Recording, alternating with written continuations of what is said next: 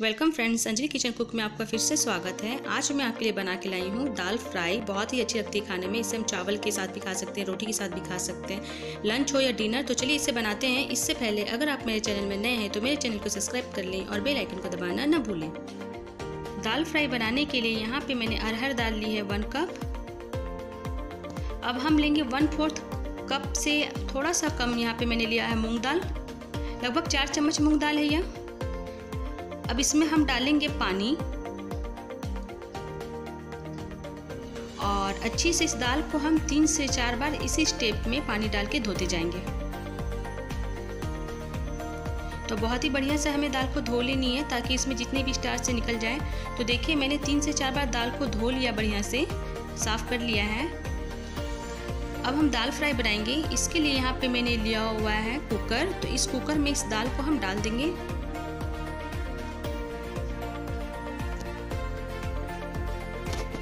अब इसमें हम डालेंगे दो कप पानी।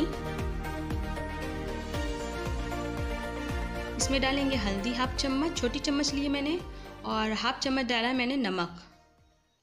अब कुकर के लीड को हम लगा देंगे और फोर से फाइव विसल्स देंगे।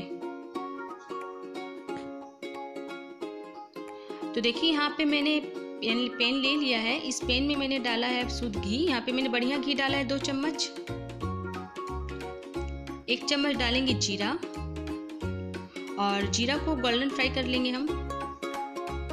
तो देखिए हमारा जीरा गोल्डन फ्राई हो चुका है। अब इसमें मैंने डाला हींग वन पिंच एक बड़ी इलायची डालेंगे।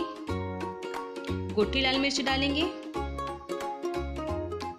तेज पत्ता एक डालें यहाँ पे मैंने एक टुकड़ा दालचीनी का लिया हुआ है, वो मैं डाल दूँगी। अब इसे अच्छे से हम एक बार मिला लेंगे।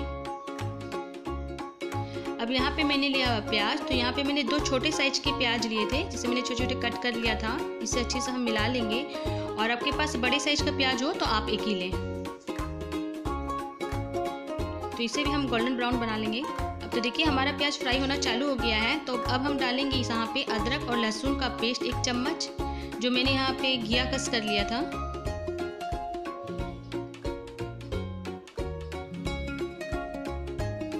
इसे भी अच्छी से हम चला लिए। अब यहाँ पे हम डालेंगे टमाटर। तो यहाँ पे मैंने दो छोटे साइज़ के टमाटर लिए हैं। अगर आपके पास बड़ा साइज़ का हो तो आप एक ही लें।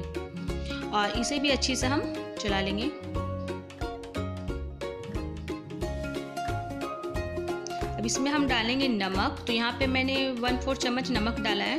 वो अच्छे से हम मिला लेंगे। ताकि हमारा जो टमाटर है वो बहुत अच्छे से गल जाए। इसलिए यहाँ पे मैंने नमक डाला है। अब हम डालेंगे यहाँ पे छोटी चम्मच, हाफ़ चम्मच हल्दी और एक चम्मच मैंने यहाँ पे कश्मीरी लाल मिर्च डाली है। इन सबको हम अच्छे से मिला लेंगे। तो देखिए, हमारा टमाटर बहुत अच्छी से गल चुका है। तो यहाँ पे हमारा कुकर में देखिए विजल्स आ चुके थे और हमारा कुकर ठंडा हो चुका है, अच्छे से भाप निकल चुका है।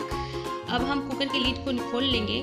यहाँ पे देखिए, मैंने दाल घोटनी ली हुई है। इससे हम दाल को अच्छे से घोट लेंगे ताकि हमारी दाल काफ़ी अच्छी सी स्मूथ सी बन जाए, बहुत ही अच्छी मलाईदार बने दाल। तो अच्छी से इसे हम घोट लेंगे। तो फिर से अब इस दाल को हम डाल देंगे इस पेन में, जो हमने अभी ग्रेवी बनाई थी ना, उसमें हम मिला लेंगे दाल को। और इसे अच्छी से हम चला लेंगे। तो देखिए, हमारी दाल फ्राई कितनी अच्छी बनी है बहुत ही अच्छा कलर आया है। देख के लग रही बहुत ही टेस्टी यमी बनी हुई है। तो बहुत ही टेस्टी दाल फ्राई हमारी बन के तैयार है। अब इसमें हम डालेंगे धनिया पत्ती। तो यहाँ पे मैंने चॉप्ड धनिया पत्ती ली है। ये इसमें हम डाल देंगे और अच्छी से इसे हम मिला लेंगे। तो देखिए, हमारी दाल फ्राई बनकर तैयार है। तो अगर आपको मेरे ये दाल फ्राई वाला वीडियो अच्छा लगा हो तो प्लीज़ मेरे वीडियो को लाइक से सब्सक्राइब करना ना भूलें और मेरा वीडियो देखने के लिए आपका बहुत बहुत धन्यवाद।